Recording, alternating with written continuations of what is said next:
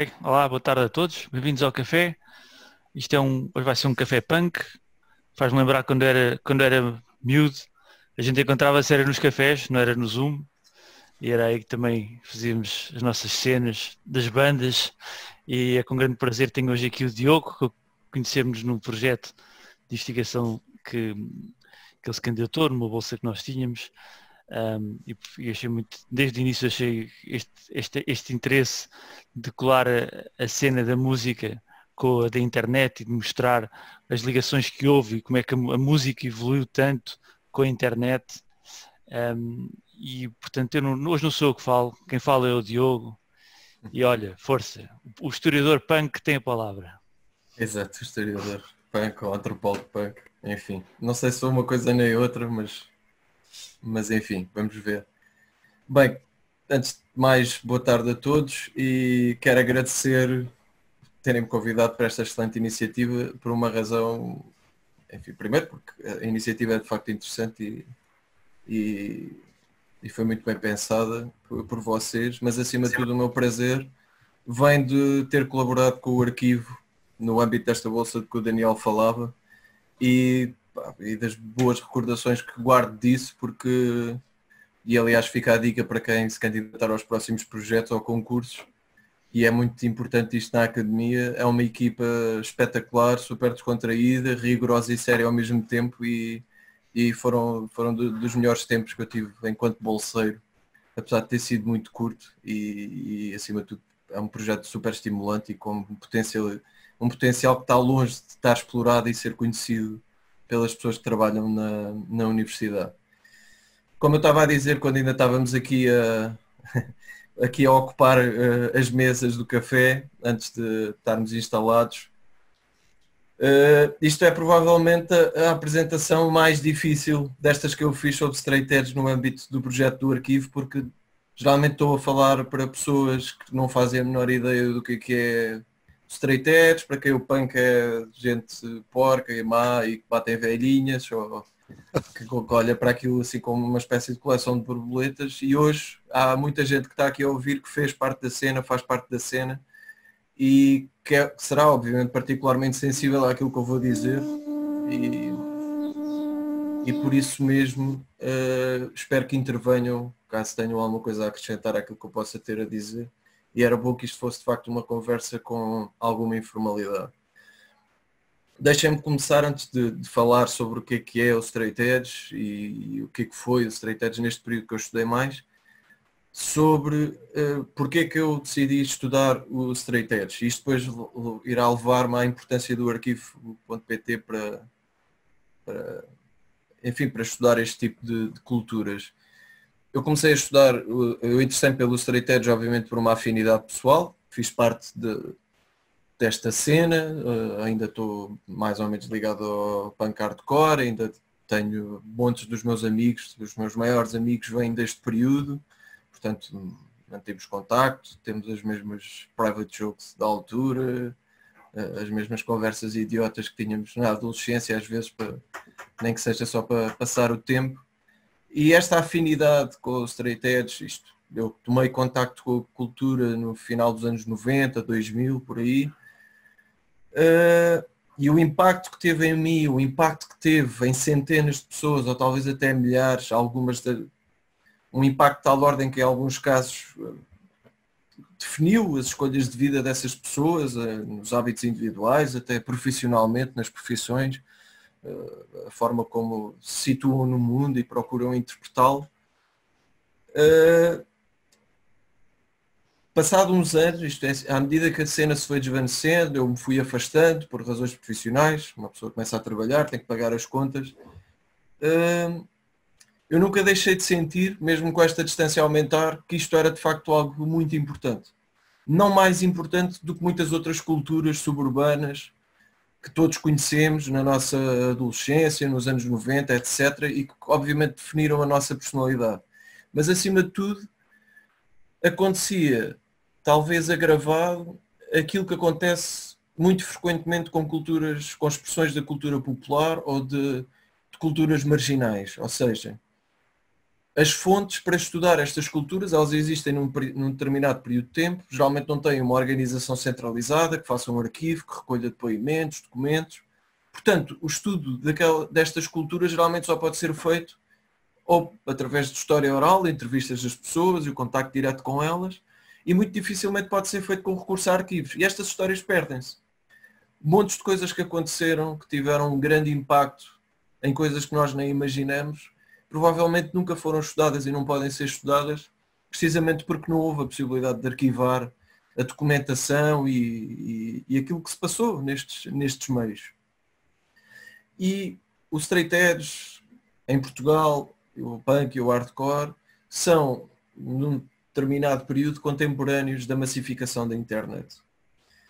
E o facto de haver uma coisa como o arquivo.pt, bom, antes disso, a internet trouxe alguns problemas. Foi começarmos a comunicar muito por via online, usar blogs, fóruns, etc. E muitas das conversações e intervenções uh, perderam-se, precisamente porque não eram arquivadas. Aliás, eu acho que esse problema ainda existe hoje. Por exemplo, no, momento como foi este da pandemia, em que a maior parte das nossas interações se fizeram virtualmente, através da internet, uh, ter estas fontes, estes arquivos para perceber de facto a, a, raiz destas interações, até para estudar coisas de outro âmbito, como por exemplo a saúde mental, eh, as transformações na saúde mental, até a nível cognitivo nas pessoas que esta pandemia trouxe, a internet e a possibilidade de estudar a partir desta sociedade virtual que substituiu temporariamente a sociedade onde tendencialmente interagimos, como o Daniel dizia, antigamente ontem ia para o café, agora bebe o café no Zoom, uh, pelo menos durante um certo período de tempo. A internet e, e, ter isto arquivado é fundamental para perceber estas, estas coisas. E o arquivo.pt arquiva páginas uh, que tiveram alojadas em servidores portugueses, principalmente, mas não só, mas faz este serviço principalmente para Portugal, e por isso arquivou muitas páginas que fizeram parte do meu crescimento enquanto adolescente, que fizeram parte do meu contacto com os straight edge, porque foi a grande medida através da internet que conheci montes de gente do, do punk, do hardcore, do straight edge, que via a divulgação de concertos. E quando eu descobri o arquivo PT, vi que de repente estes sites todos que tinham desaparecido da internet, uh, montes de referências que estavam online, de repente estavam ali. Fui ao arquivo.pt, faço uma pequena pesquisa sobre straight edge e de repente aparecem-me sites que eu não via há 20 anos praticamente. E, epá, e foi espetacular e eu vou partilhar alguns desses sites aqui, vou pôr inclusive os links para a malta desta altura poder, poder, poder divertir-se a, a, ver estes sites antigos, porque se calhar alguns de vocês já nem se lembravam. Uh, e pronto, o arquivo.pt teve esta faceta. E depois, como investigador, eu trabalhei sempre sobre culturas populares e marginais, geralmente no século XIX, no, no final do século XIX e início do século XX, quando ainda não havia internet. Sei bem o problema que é arranjar fontes, às vezes, para estudar estas culturas que não sejam fontes filtradas. Uh, por exemplo, ter alguém a falar de, da classe operária, geralmente quando as taxas de analfabetismo no início do século eram, rondavam os 80%, geralmente era sempre, eram sempre outros a falar sobre essas culturas. E não os próprios, não é? Portanto, as fontes nunca eram, nunca retratavam a perspectiva sobre as suas próprias vidas dos próprios agentes. Muitas vezes a documentação oficial retratava de forma deturpada. E isto remete-me, finalmente, para acabar esta introdução, para outra coisa, que é aquilo que também me motivou, nunca na minha vida pensei falar de punk, hardcore ou straight edge uh, a nível académico. O que é certo é que nos últimos anos começaram a surgir alguns discursos, livros, nomeadamente sobre a história do punk em Portugal de pessoas que não tiveram propriamente contacto com a cultura ou tiveram um contacto indireto, cujas intenções eram as melhores, mas que eu ao ler esses livros, ao ler esses artigos, não me revia de todo nas experiências que ali eram retratadas. E obviamente o straight edge como uma cultura dentro da cultura do punk hardcore, às vezes tem, tinha um papel ou era remetida para um papel totalmente secundário uh, que turpava ainda mais a imagem daquilo que, que foi o Straight Edge. Uh, isso motivou-me, fez-me pensar, aliás em conversa com um amigo que escreveu uma brilhante história do punk hardcore em Portugal chamada Corta e Cola. Foi uma história escrita a partir das capas dos discos punk em Portugal. Vai de 1978 a 1998, o Afonso Cortês, que as pessoas que tiveram ali, que, para quem isto ainda significa qualquer coisa, para quem isto é importante, para quem isto marcou, mesmo que já não estejam ligadas ao punk, hardcore e aos straight edge, isto deixou uma marca nas suas vidas, era importante se calhar haver este discurso que fugisse ou que fosse um contradiscurso, este discurso académico, estéreo, que basicamente tirava a vida toda daquilo que, que, que, foi a nossa experiência. E obviamente qualquer coisa que uma pessoa diga neste âmbito é, nunca vai retratar a experiência de cada um de nós na, na cena straight edge, punk, hardcore, etc. Ou seja, e por isso é que, aliás, isto do arquivo, esta conversa, este café com o arquivo é interessante, precisamente porque pela primeira vez estão aqui pessoas que fizeram parte da cena a falar comigo e eu gostava bastante que participassem e falassem sobre, uh, sobre as vossas experiências, sobre algumas delas tiveram nos Edge muito antes de eu ter entrado e sabem melhor do que eu coisas que eu falei no artigo que escrevi sobre, por exemplo, meados dos anos 90, que eu ainda não sabia, nem tinha qualquer contacto com, com a cultura straight edge e, portanto, sintam-se à vontade para, para intervir. Uh, o straight edge, eu não vou dizer nada que, que, as pessoas ligadas à cultura não saibam, obviamente, uh, precisamente porque há aqui muita gente que nunca ouviu falar de straight edge e, e enfim, tem curiosidade e, e interessa saber aquilo, que, aquilo que foi, aquilo que é. Straight Edge foi uma cultura dentro do punk hardcore que surgiu no início dos anos 80 em Washington DC, isto é a versão oficial, a história canónica, por uma banda chamada Minor Threat, uh, como disse, isto é a história canónica, há pessoas que, que identificam outras bandas uh, ou outras ideias ou outros indivíduos antes de, na origem do Straight Edge, mas basicamente uh, Minor Threat tinha uma letra, tinha uma música chamada Straight Edge uh, e outra música chamada Out of Step, onde definia, digamos, aquilo que se tornaram mais ou menos as regras, entre aspas, daquilo que era ser Straight Edge, que era basicamente defender a abstinência de consumo de álcool, de tabaco, todo o tipo de drogas e progressivamente a adoção de uma dieta vegetariana e também para alguns, por exemplo, isto é um dos pontos sujeitos a diversas interpretações e que reflete mais ou menos as diversas sensibilidades dentro do straight edge, contra o sexo promíscuo, uh, para alguns numa versão mais puritana, uh, pelo sexo totalmente monogâmico, etc.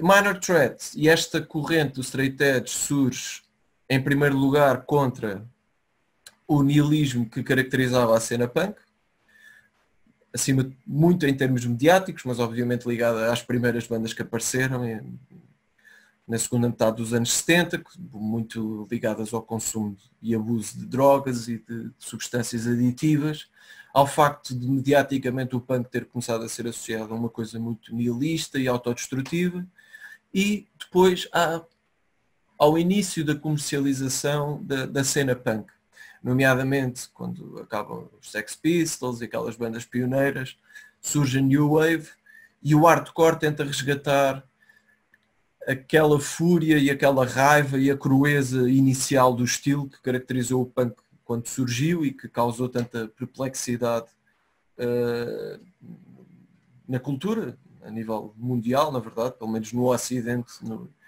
nos primeiros tempos.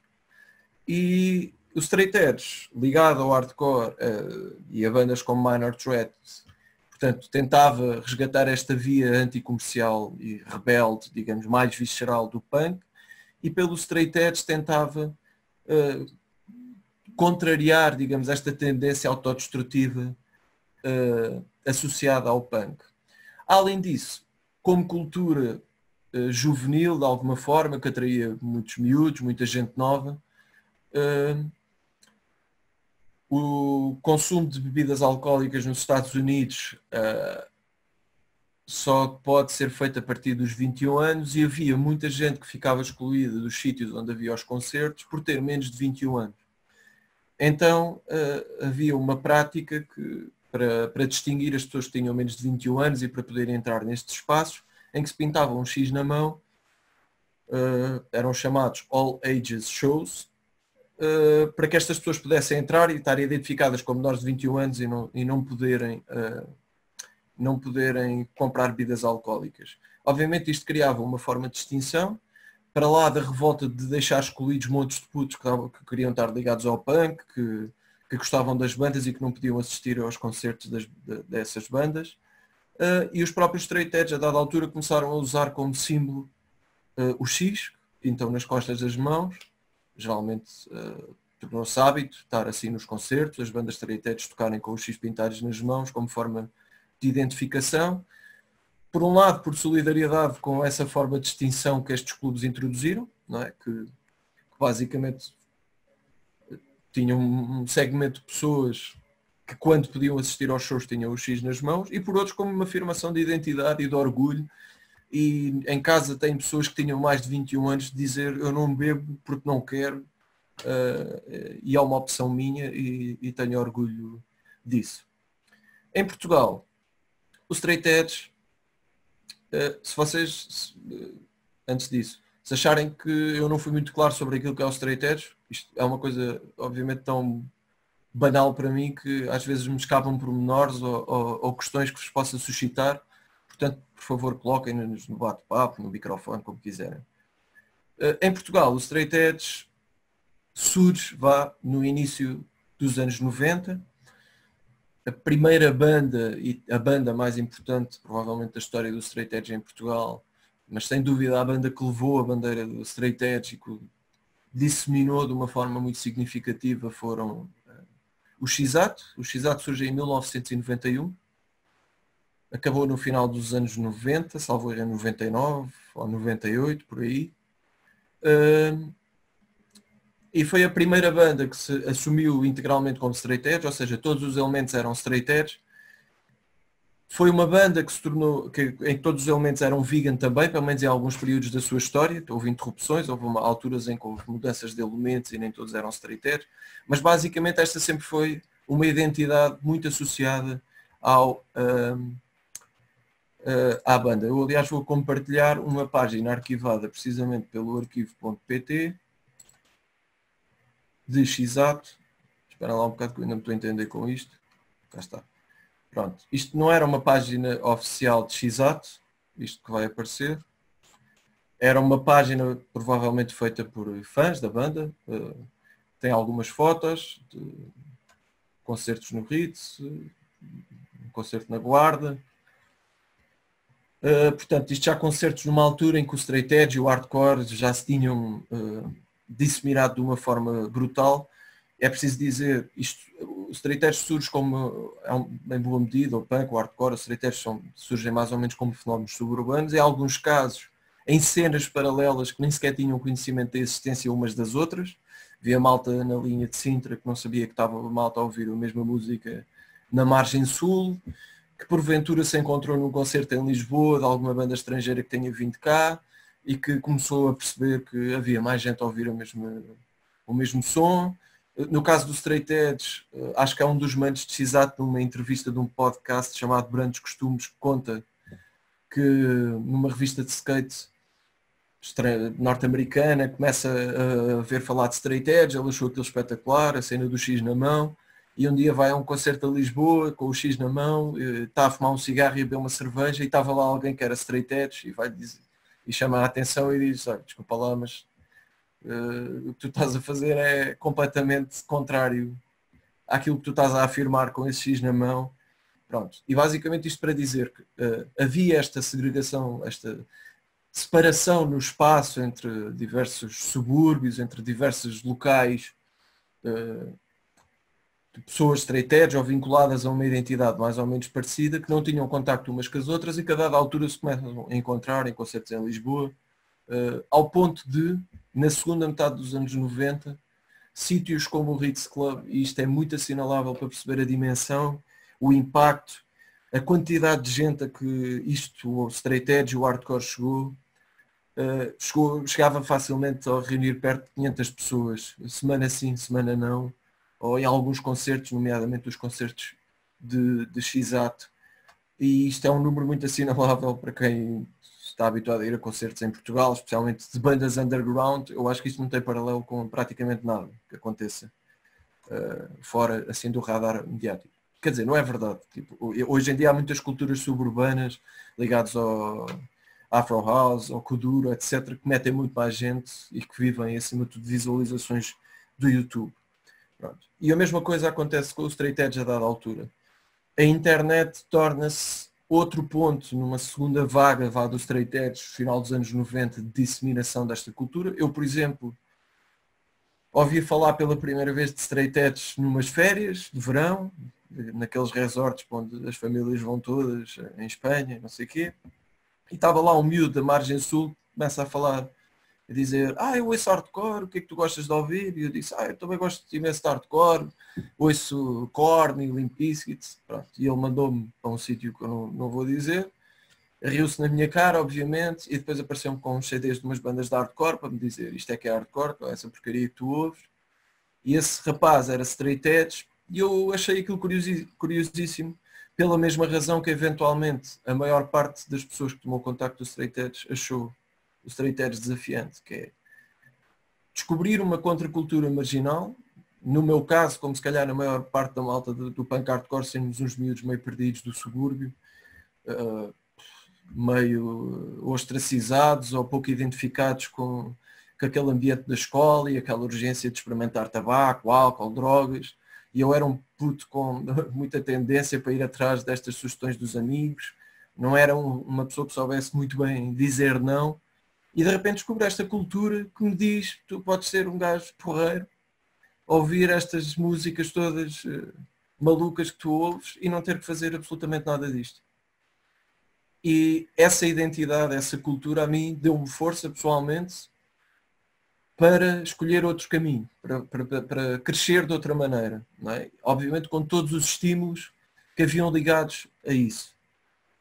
Uh, e acho que isto é a experiência de grande parte das pessoas. Uh, sei lá, isto para mim é importante porque eu cresci num, num bairro de merda, desculpem a expressão, onde uh, o beber álcool, consumir drogas era parte do cotidiano de, de, de um pré-adolescente ou do adolescente e era parte do ser cool e de integrarmos numa, numa cultura e fazia parte deste crescimento. E para mim foi, foi muito importante uh, ter esta identidade, ter um grupo de pessoas com que me identificar e reclamar essa identidade, até quando ainda nem sequer tinha propriamente eh, contacto com a cultura e entrou aqui o Ricardo Dias, a.k.a. Congas, que eu tenho uma história bem fixe para contar desse início, que ele não se lembra de certeza, mas que demonstra isto da internet.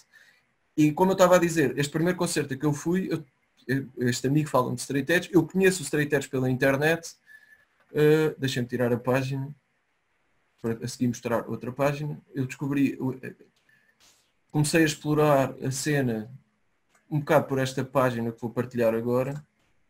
E foi nesta página que eu vi que ia haver um concerto em Azeitão. Um concerto de uma banda do Ricardo Dias, Timex, Shuffle de New Winds. Foi o primeiro concerto hardcore que eu fui. Pá, tinha ficado fascinado com a coisa, vou ao concerto e aquilo que aconteceu ali literalmente mudou a minha vida. E a, a, história interessante para se ver como é que esta, esta comunidade se constrói, estas interações se fazem, na altura em que eu entro, obviamente para pessoas como o Ricardo e outras pessoas que estão aqui que entraram antes da cena e a internet ainda não era tão importante, isto não fez tanta diferença. Eu vou, uh, neste site do Straight Edge PT tinha letras, tinha músicas, mas na altura havia o Napster, eu não conhecia ninguém da cena e eu vou sacar músicas, encontrei músicas Timex no Napster e saco. E essas músicas provavelmente eram, estavam numa conta do Ricardo Dias. E então ele veio falar comigo, tipo, puto, quem és tu? Queres Timex? Porquê que estás a sacar Timex? Tu ouves Timex? Pronto, eu disse, olha, vi no concerto, em azeitão, não sei o quê.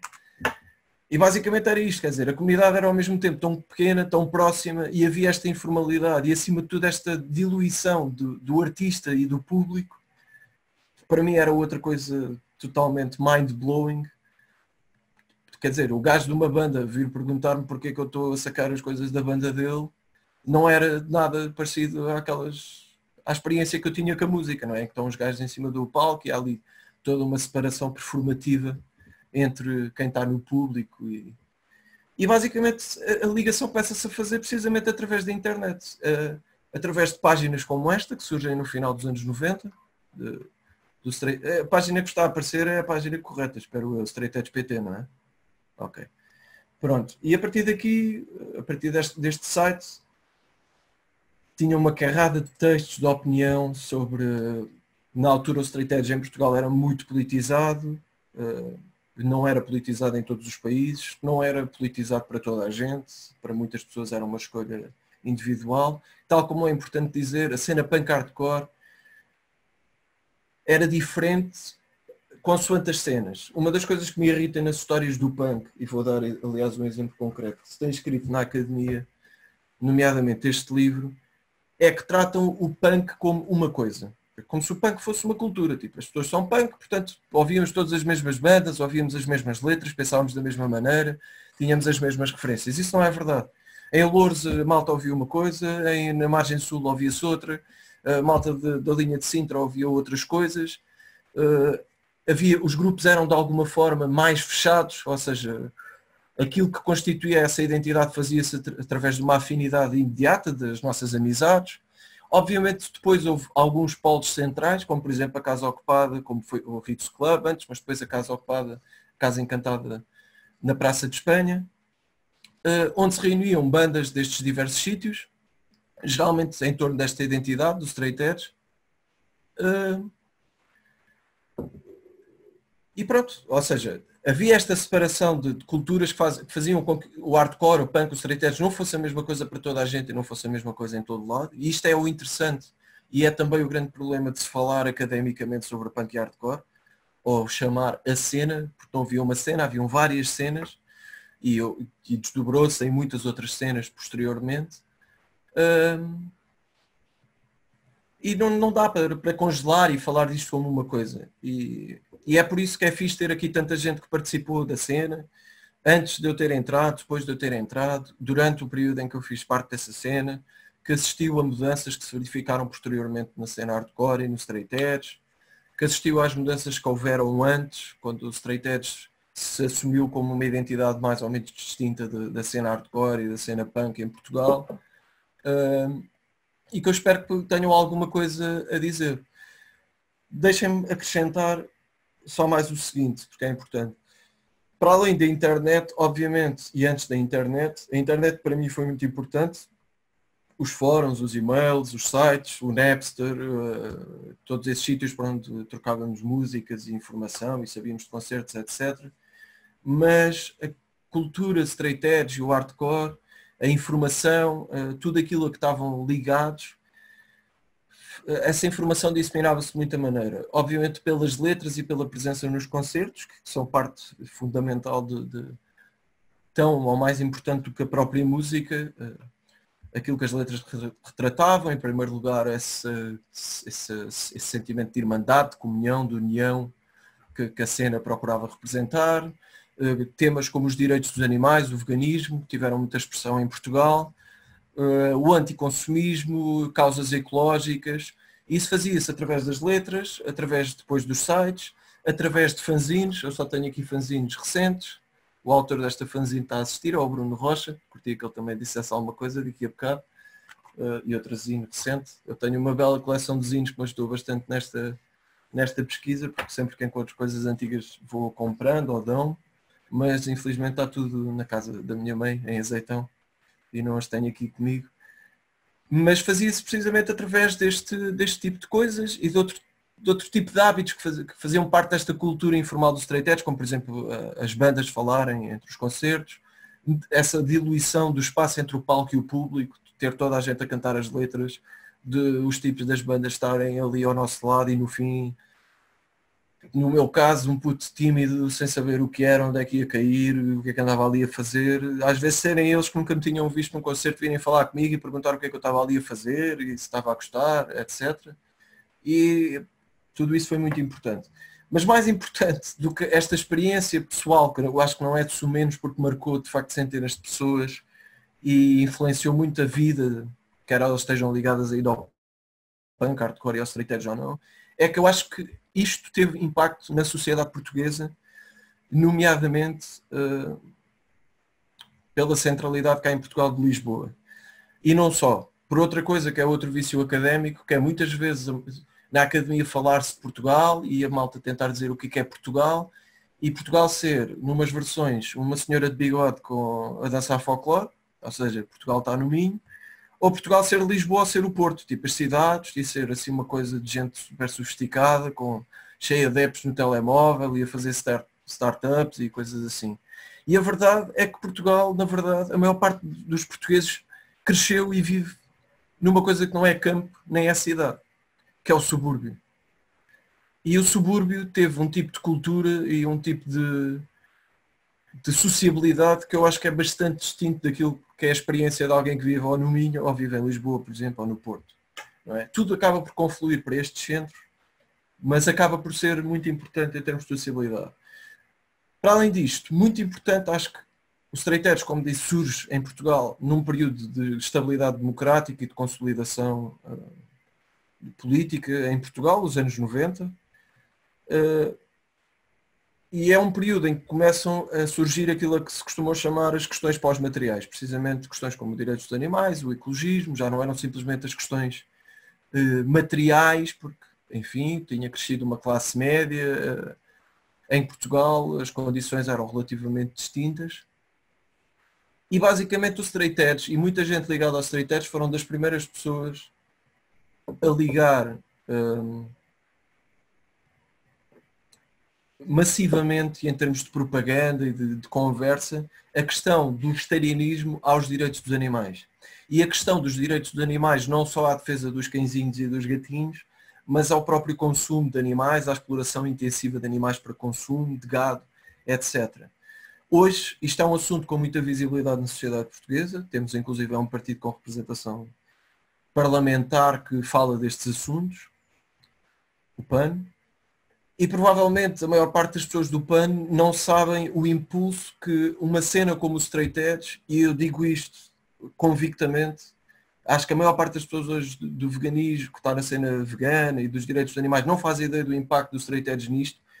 No final dos anos 90 início dos 2000, se uma pessoa ia a uma manifestação anti-touradas ou contra os direitos dos animais e se calhar uma estimativa por baixo, metade das pessoas que lá estavam, para não dizer mais, era malta ligada à cena do punk hardcore e, do, e ao straight edge e que tomou contacto com o veganismo e o vegetarianismo precisamente por essa via. E muitas causas ecológicas hoje altamente banalizadas que muita gente começa a ouvir falar agora eu, eu vejo-as em zines do, do punk e do hardcore desde os anos 90 à vontade. Uh, coisas tipo a compostagem, uh, as questões ligadas ao consumo de plástico excessivo. Eram, aliás, o site do Straight Edge PT que ainda está aqui aberto, tem aqui um texto. Tem aqui alguns textos sobre ecologia, tem textos sobre aborto e a sua proibição, uh, um carradão de, de receitas vegetarianas aqui, uh, e enfim, dá, dá alguma percepção de, de, da quantidade de tópicos uh, que isto tocava. Esta, quando disse, esta estabilidade democrática foi também uma ilusão, e com isto eu vou terminar. Foi uma ilusão porque uh, criou a percepção, esta emergência de uma classe média, e o straight edge era uma cultura muito ligada a uma classe média, e assim a putos letrados que acabaram por ir para a universidade e não sei o quê, criou, a ilus, criou um certo elitismo que estava muito ligado a esta separação de, das cenas que havia entre diversos sítios. Obviamente, se alguém que cresce num subúrbio na margem sul, ou por exemplo o meu caso em Azeitão, que o pessoal acha que é só putos ricos e betos e o Herman José, e não, tipo, eu cresci num bairro social, tranquilo, mas que obviamente não dificilmente em toda a minha em toda a minha vida fui, devia ser de classe média ou fosse o que fosse. E de facto, a dada altura, quando o straight se assume como uma identidade própria e se distingue do punk, etc., e se distingue das outras cenas, começa a haver uma arrogância e acima de tudo um desprezo por um desprezo por, por muita gente que não pá, que tinha problemas muito mais reais, e o straight edge dizia isso muito político, mas só falava a, a, tendência era falar tipo, da luta dos zapatistas no México, eh, sobre prisioneiros políticos nos Estados Unidos, ou sobre até veganismo, e havia muita gente, e isto acentua-se depois, no início dos anos 2000 e final dos anos 90 também, que lidava com problemas muito prementes aqui perto. E para quem o hardcore, o straight edge e o punk era uma cena política, mas era acima de tudo um escape a uma vida em que basicamente passamos a vida a sobreviver e aquilo era o único sítio onde as pessoas se sentiam vivas, a gritar com as bandas, etc. Uh, e pessoas que enfrentavam trabalhos de merda, de desemprego, etc. E que iam àquela cena, iam àqueles concertos e já não se identificavam, primeiro com o que aquelas bandas diziam e segundo, com o facto daquelas bandas usarem essa diferença que havia destas pessoas que não queriam estar a falar dos zapatistas como uma forma arrogante de dizer tu não és da cena, vaza. Isto depois, com a internet, a internet, ou seja, permitiu a disseminação dos edge, mas também contribuiu a dada altura para, para certas divisões que surgiram pelo anonimato dos fóruns, por boatos, por ser mais fácil propagar boatos. Uh, uh, pronto, desta fase da internet começam então a surgir diferentes cenas uh, dentro do próprio straight edge que, que fazem isto gostava de abrir a conversa, até porque eu estava, espera, estava e estou à espera que isto seja de facto uma conversa e não preparei propriamente a apresentação. Uh, isto é a primeira vez, aliás, que eu estou a falar sobre Street Edge para pessoas que viveram a cena, porque geralmente, sei lá, as vezes que falei no âmbito deste projeto do arquivo foi em auditórios, onde estava, por exemplo, o Pacheco Pereira, que é um tipo simpático, mas para quem o Street Edge diz tanto como uh, me diz a mim a plantação de batata na, na China. Portanto, abram o microfone, o vídeo, ou se quiserem pôr uh, perguntas no bate-papo, que eu vou abrir e já vou ver.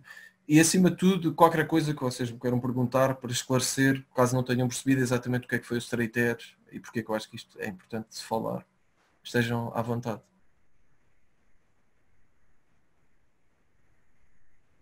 Hum.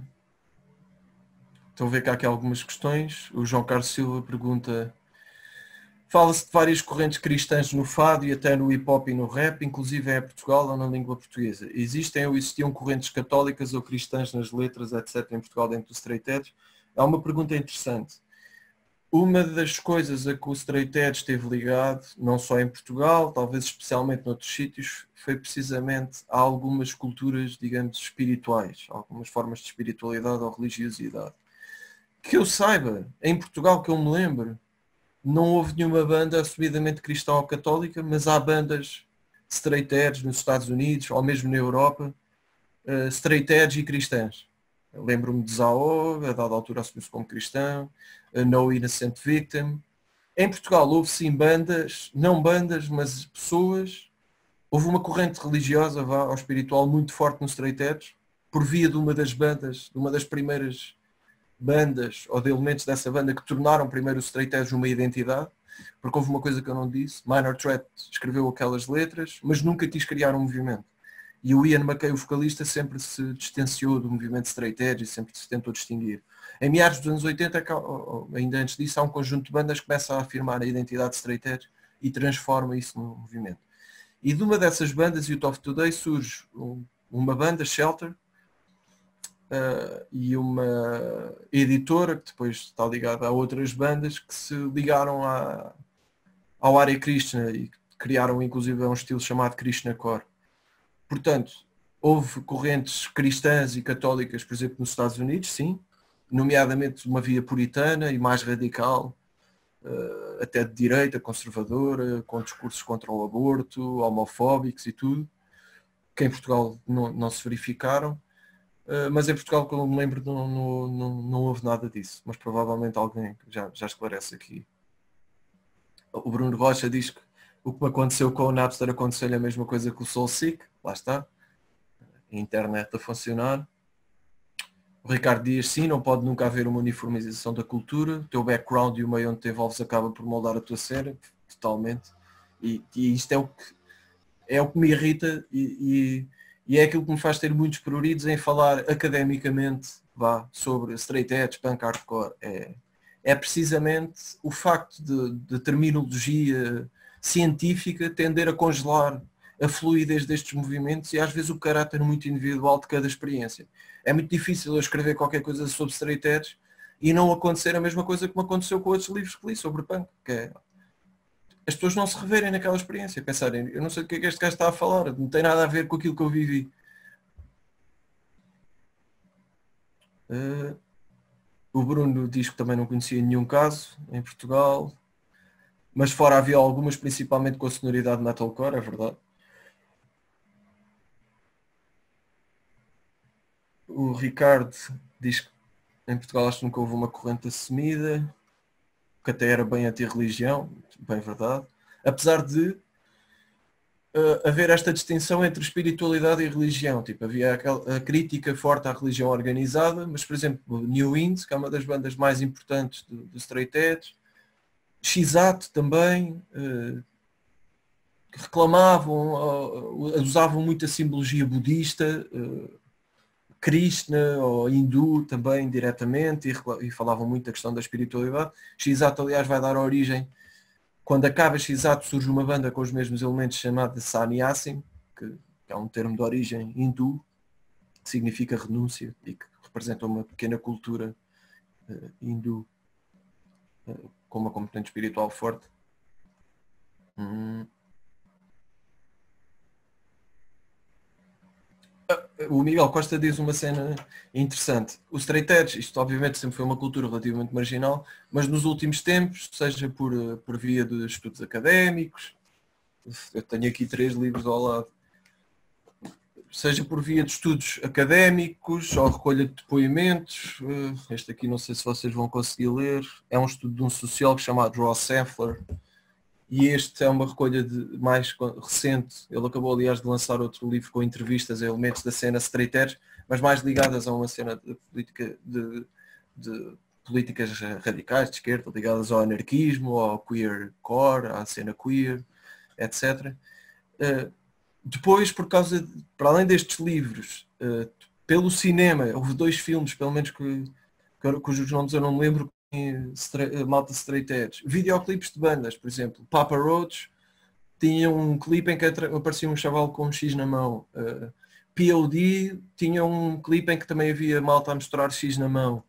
Uh, o James Hetfield recentemente, apesar dele agora ter tido uma data de recaídas, houve aí uma altura que apareceu com uma straight edge, com uma tatuagem a dizer straight edge, o James Hetfield dos Metallica, numa fase em que tinha conseguido supostamente afirmar a sua abstinência do álcool, etc. E depois, uma coisa que deu muita visibilidade ao Straight Edge foi o CM Punk, um wrestler que teve nas principais ligas do wrestling norte-americano e cujo toda a identidade dele enquanto wrestler era precisamente o straight edge. Ele tinha acho até X tatuados nas mãos uh, e a bandeira dele era ter uma vida desportista livre de drogas, de álcool, etc isto nos Estados Unidos. Portanto, houve uma série de fenómenos de massas que tornaram os straight edge uma coisa bastante visível na cultura popular e houve obviamente depois eh, retratos também, artigos na, uh, nos mídias que, que, que, falavam dos straight edge de uma forma geralmente super deturpada e sensacionalista.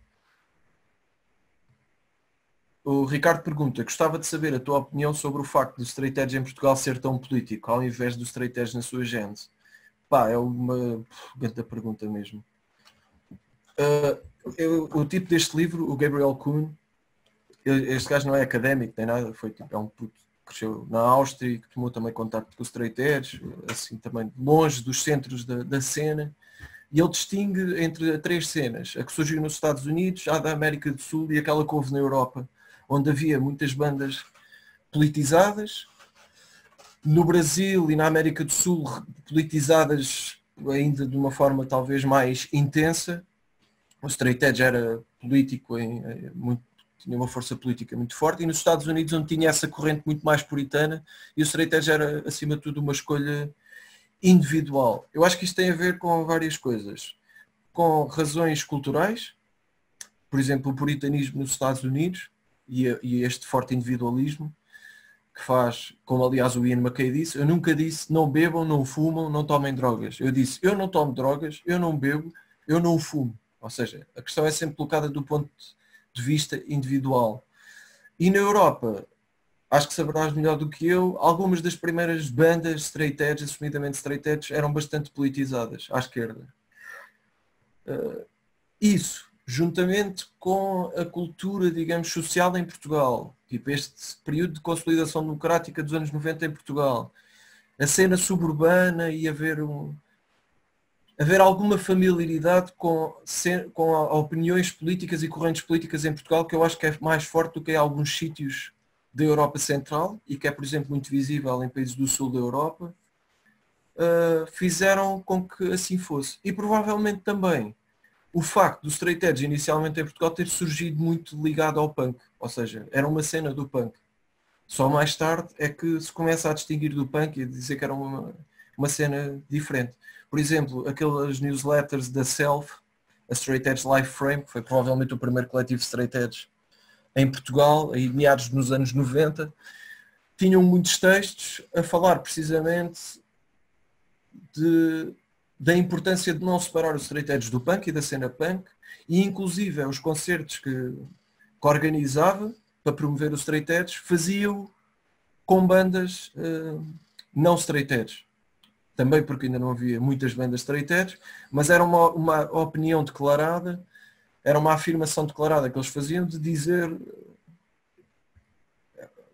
epá, isto não faz sentido se não for punk e de manter o contacto com bandas do punk que nesta cultura underground eram muito politizadas. Epá, isto é a minha opinião.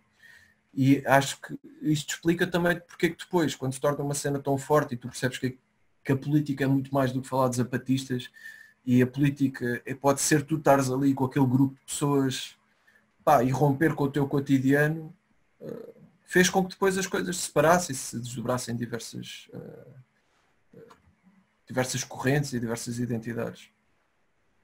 Uh, Paula Pimentel diz obrigada pela forma. Uh, Ricardo, espero que satisfaça minimamente e que isto faça algum sentido para ti. A Paula Pimentel diz obrigada pela forma como explicou os Straight Edge, obrigado eu. Não conhecia esta forma de cultura e estava muito curiosa, obrigada também pelas referências que foi transmitindo. Miguel Costa diz confirme e tinha rivalidade com o Jeff Hardy que era conhecido por não ser nada straight edge, mesmo na vida real. Yeah. Ainda bem porque eu olha, sei muito pouco sobre isso e aquilo que sei foi pá, lembro-me dele aparecer e ficar tipo, porra, aliás, com a mesma opinião quando se vê porcarias na academia a falar de straight edge, ou programas na televisão, fico sempre. Yeah, qualquer pessoa underground, esteja está ligada na cultura underground, sempre que há uma, uma forma de massificação a tornar a coisa mainstream parece sempre um bocado perturbante temos sempre que destruir aquilo que foi a tua experiência. Yeah. O Bruno Rocha coloca uma excelente questão também. Chegou a existir ou existe uma extrema-direita a associar-se aos traiteiros nos últimos anos fora do, do mundo punk, suponho? Sabes alguma coisa disto? Pá, o que eu sei é que eu, isto que eu estudei e aquilo que eu vivi mais intensamente foi para aí até, sei lá, 2005, isto no qual a Streiteiros diz respeito. Na altura, lembro-me de haver malta da extrema-direita que não era propriamente da cena, apesar de terem saído pessoas da cena Streiteiros que depois se tornaram nazis, que todos conhecemos, da malta que teve na cena que está aqui, provavelmente, mas havia malta que tentava afirmar uh, tipo um estilo de vida sóbrio e limpo, uh, e por isso se afirmava como straight às ideias de extrema-direita deles. Mas eram pá, dificilmente era um movimento ou uma cena e eram indivíduos isolados que, que, eu me lembro só, eu via tipo coisas em fóruns e na internet, tipo, a ligar aquilo de uma forma totalmente descontextualizada do punk, do hardcore e da, da, da, da própria relação de straight edge. O Luís Luz deixa um artigo diz que ainda na questão das religiões há um artigo que relaciona os Straight com o movimento Hare Krishna, espetacular, aqui está uma boa referência. Eu já vou partilhar alguns links das páginas arquivadas no, no arquivo que, que eu mostrei. Uma imagem da capa do WWE 13 que realça as tais cruzes que falaste. Diogo.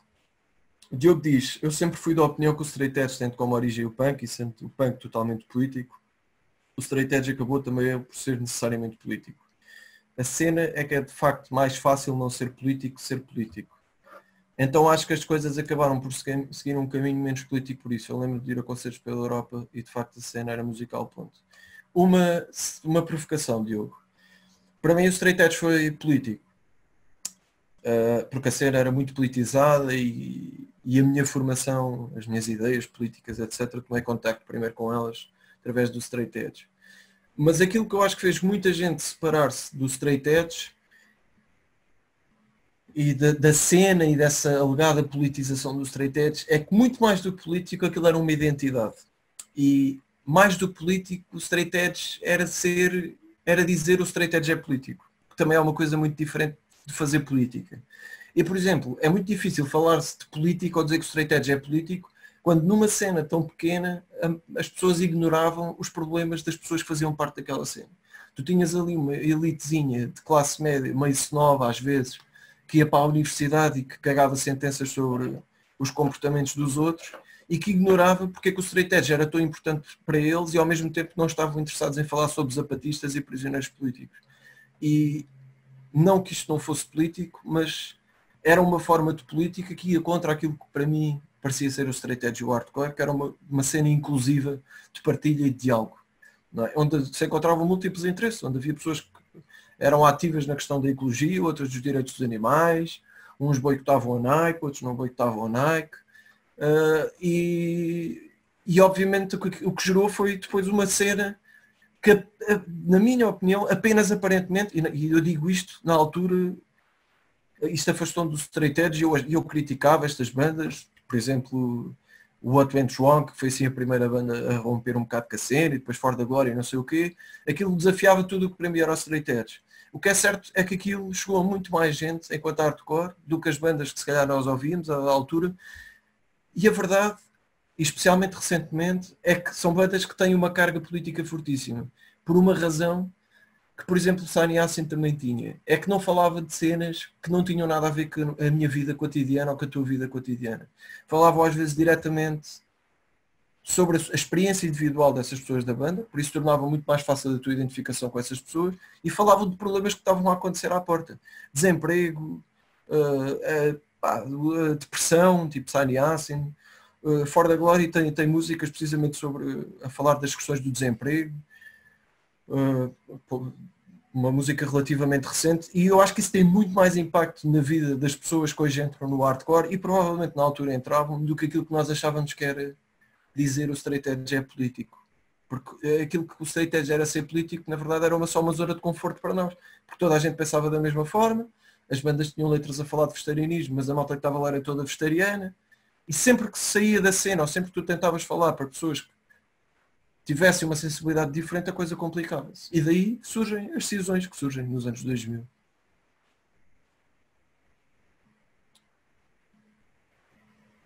Pois, a Rússia tem Uh, epá, a cena deles dizerem, na Rússia dizerem que são edge não faz sentido. É, isto é, é, difícil, não é? Porque o straight edge não, não tem um manual.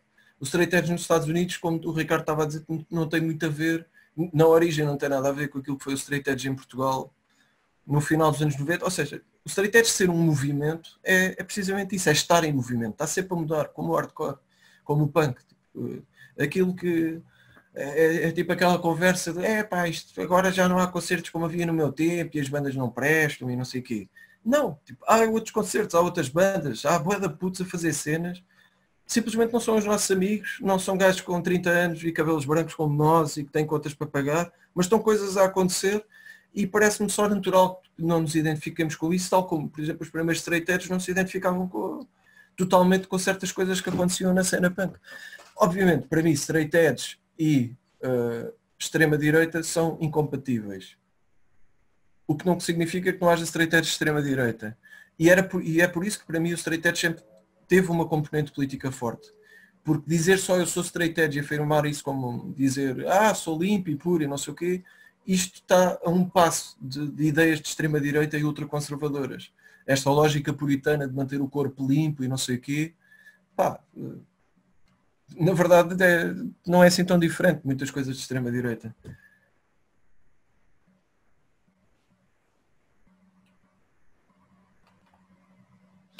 Paulo Carreta diz, gostei muito da sua contextualização sobre straight edge, tinha uma percepção muito superficial associada ao veganismo. Obrigado por partilhar essas informações e fazer esse exercício de identificação das influências e o impacto a partir dessas informações. Obrigado, meu Paulo, por, por ouvires. E se houver questões, continuo a apelar a que as coloquem o Diogo disse, é pá, não sei se concordo sobre, com essa parte, não sei qual parte é que ele está a falar, mas acho que foi o que eu acabei de dizer, porque o que se falava antes eram temas que eu não que não se falavam em mais lado nenhum. Falar sobre desemprego, por exemplo, eu falo com qualquer pessoa. É, pois, o que eu sentia na altura é que eu ia ali aprender coisas que não aprendi em mais lado nenhum, que basicamente foi o que me fez ficar. Sim, é verdade. Mas o facto de tu falares de desemprego com qualquer pessoa não significa que se dê a dimensão política que tu encontravas para outros temas no Straight Edge uh, ao desemprego. É? E a verdade é que isso era de facto o problema. É que isto de ser político, isto de ser político às vezes é de falar sobre a tua própria vida. Por exemplo, há poucas coisas tão políticas hoje em dia como as questões da saúde mental. A ansiedade, a angústia, a depressão. E no entanto é uma coisa que ninguém pensa politicamente. É sempre algo totalmente individualizado. É sempre uma coisa que é vista como um fator de culpabilização individual. Uh, há uma tonelada de livros de autoajuda a dizer acredita, faz, acontece. E, por exemplo, isto é um tema que eu acho que toca muito mais as pessoas do que estar a falar de certos temas que obviamente são muito importantes para mim, que me educaram e que me abriram os olhos, mas isto sou eu. Tipo, gosto de ler, acabei por ir para a universidade e se calhar os zapatistas dizem-me alguma coisa de como puto de, que vive no Cacém, que chega à casa e leva a porrada do pai, a mãe está desempregada. Epá, isto isto é, é profundamente político e na verdade uma transformação a acontecer passa muito por aqui. Agora, é verdade, eu preferia que a malta, em vez de andar ao pontapé nos concertos, canalizasse essa energia, essa energia para. Espero que não esteja aqui ninguém da polícia a ver, mas para, para queimar a esquadra de, sei lá, de Alfragido ou qualquer coisa como fizeram em Minneapolis eh, agora por causa do, do, daquele cidadão negro que foi assassinado. Era muito mais interessante. Mas a verdade é que isto não é sobre mim não, e, e as sensibilidades são diferentes. Agora, de resto, se o Straight Edge não fosse político, na altura, por exemplo, eu não tinha entrado ou não tinha fascinado da mesma maneira. E há pessoas que se identificam como straight edge que nem se estão ligadas ao hardcore, a verdade, e é, disse o Luís Luz. E, e isto tem muito a ver também com esta pacificação e com esta entrada da cultura popular no, no straight edge. Ricardo Dias diz, tens um sentimento muito pró-América nos Estados Unidos, malta edge com esse sentimento, e yeah, é verdade. Apenas porque é a forma onde foram criados e como cresceram o Edge e o vegetarianismo nunca teve uma relação até aos Youth of Today e até mesmo a alta de Youth Cru não era vegetariana. É totalmente verdade.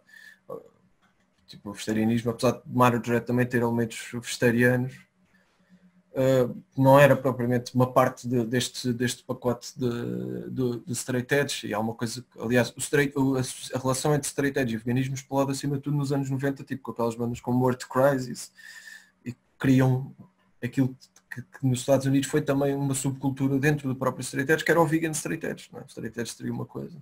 E além do que estás a dizer da malta pró-américa nos Estados Unidos, uh, tens inclusive é, grupos organizados de punks conservadores. Tipo, fizeram campanha pelo Trump e coisas assim surreais do género, que só mesmo nos Estados Unidos é que dá para acontecer àquela escala. O Diogo diz, responde ao Ricardo, Sim, sem dúvida, Ricardo, por isso é que o Straight Edge uh, me prendeu, porque eu sentia que era uma cena que naquela altura estava sempre a evoluir, as bandas iam trazer sempre cenas novas para a cena. New Wings, por exemplo, é o melhor exemplo disso, foram sempre evoluindo liricamente em termos de conteúdo, era isso que me prendia. O Ricardo Dias diz, eu concordo com o fascínio pelo facto de saber que podíamos mudar o mundo nos cativava. E yeah, pá, eu acho que é muito mais do que isso, ou seja, para mim, o straight, e para boa parte da malta, acho que isto começa como uma identidade. Tipo, tu encontras ali um grupo no meu caso, o straight edge, a cena mais importante do straight edge, e eu já não, já não me assumo como straight edge há anos e não tenho nada propriamente a ver com straight edge, mas houve uma coisa que foi absolutamente determinante na minha vida e não foi eu não consumir álcool, drogas e não sei o quê. Foi eu aprender a dizer não e a ser uma minoria de um no meio de uma multidão. Que era uma coisa que eu simplesmente não sabia fazer. Ou seja, o peer pressure da escola e eu ser um puto perdido e sem saber onde cair, fazia-me seguir todo o tipo de comportamentos e hábitos como qualquer pessoa quando está a crescer, estás a descobrir, estás a fazer novas amizades. E o straight edge, ter uma comunidade, ter uma identidade e poder dizer algo tão estúpido como eu sou straight edge para pessoas que nem sequer sabiam o que era, eh, deu-me força não é? para, para, poder dizer não em N circunstâncias na minha vida e pensar, às vezes pela minha própria cabeça. e isto para mim foi o, é, o mais importante que eu acho que o Straight Edge me trouxe e que deve ter trazido também a muita gente. Mais do que não beber, não fumar, isso dá para fazer com moderação, para lá das questões puritanas e, e não, não, é propriamente uma fonte de envenenamento, como se diz, etc. Sani já abordava este tipo de questões, apesar de já não ser considerado uma banda straight edge, tal como bandas internacionais straight edge, como essa nova geração que surgiu, Evart e restantes bandas, já abordam muito mais essa temática mais atual, que já falaste de pressão. Sim, olha, e lembro-te que há uma banda chamada Farsa, por acaso é a minha banda, que também fala desses temas.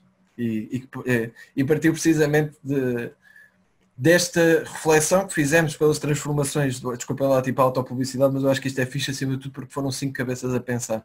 Partiu destas, destas mudanças que houve do hardcore, nós crescemos na cena juntos, houve alterações no hardcore e nós percebemos que se queríamos ter uma banda a falar de política e, de, e dessas, dessas coisas, pá, era muito mais interessante e aquilo que nos preocupava muito mais hoje em dia que temos trabalhos e contas para pagar, uh, era precisamente falar daquilo que nos perturba de facto, porque pá, o gajo está a trabalhar das 9 às 5, tem a prestação do carro para pagar, a casa, tem um trabalho de porcaria montes de vezes.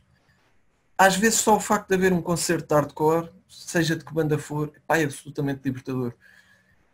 Eu, eu há bocado estava a falar desse, desse distanciamento que houve com bandas como For da Glória e eu na altura tipo, não curtia nada e eu passado uns anos vou a um concerto hardcore de For da Glory, que já não vi há alguns anos, pá, a pensar, isto não tem nada a ver comigo, não vou gostar, e tive praticamente a sensação que tive no primeiro concerto hardcore que fui. Uma energia, uh, as próprias intervenções de, do Ricardo, entre as músicas, Pronto, e, e, na verdade isto reforça aquilo que eu estava a dizer, tipo, a cena transforma-se, muda, vão surgindo novas sensibilidades, às vezes não vão na direção que nós queremos, às vezes há provocações e são não mais do que isso provocações e depois as coisas se estabilizam. Uh, e, e, é isso. E muitas bandas, por exemplo Shape, que também, por causa disto que eu estava a dizer de farsa e, há um documentário que termina com uma cena de um concerto de Shape em que ele está simplesmente a falar disso. No Shape não era uma banda propriamente muito politizada, mas tinha muito esta dimensão individual. Ele está precisamente a falar sobre eh, tipo, a vida de merda. Que toda a gente que estava ali, tipo, ele começa com um puto a falar, a discursar assim uma cena bem normal, e quando ele acaba de falar, a falar sobre os empregos de porcaria que as pessoas têm, as contas para pagar, estava uma multidão totalmente em comunhão, entrega aquilo que ele disse, porque de certeza que a maior parte das pessoas que estavam ali se identificavam com aquilo. Muito mais do que um gajo pegar num livro e ler um certo de um texto que o Mumi Abu Jamal escreveu na prisão, por exemplo, que é muito importante, não é? mas não vai tocar em toda a gente que ali está, quando tem outros problemas para pensar. E quando um gajo fala destes problemas que tem que enfrentar no dia a dia, pá, que são profundamente políticos, acho que e numa cena que dizia que o pessoal é político, como os straight edge, acho que nunca se ter percebido isto, é, é, é um bocado preocupante. Uh, o Ricardo diz, diz, mas quando aprofundas a cultura, e é ótimo aprofundar para perceber que a simplicidade da ideia e a forma como se adapta a várias pessoas e sociedades. Adoro conhecer sobre a cultura e perceber as suas diferenças. Yeah, sem dúvida.